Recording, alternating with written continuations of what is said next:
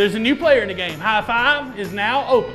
High Five has glass water pipes, hookahs, and lots of tobacco smoking accessories. And then High Five has brand name vape pens at discount prices like the Cloud 2.0. And then there are paintings, photography, and other art, all by local artists. We have drinks and snacks in case you have the munchies. And then there's clothing for guys, gals, and an incredible selection of grassroots hats. High Fives are free, so get yours today. High Five, 114 Carr Street, located behind the back door Tavern on Kingston Pike.